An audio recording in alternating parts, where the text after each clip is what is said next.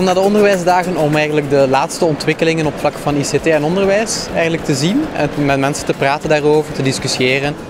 Het is mijn eerste keer dat ik hier ben. Ik ontmoet allerlei leuke mensen.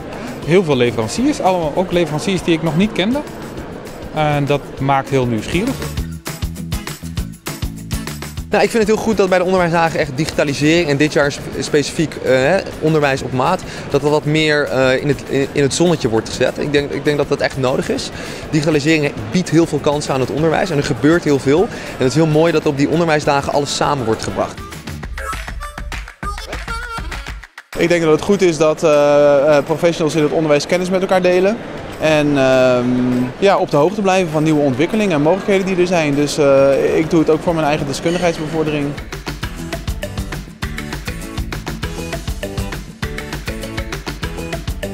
Er is gewoon, zeker in het gebied van open en online onderwijs, heel veel behoefte aan het delen van ervaringen. Gewoon best practices. Uh, want je kunt het ook wel lezen in wetenschappelijke publicaties mogelijk, maar het is veel toegankelijker om het gewoon rechtstreeks te horen. Het heeft nieuwe inzichten gebracht. Ik heb een aantal mensen ontmoet. Ik heb een aantal leuke sessies meegemaakt.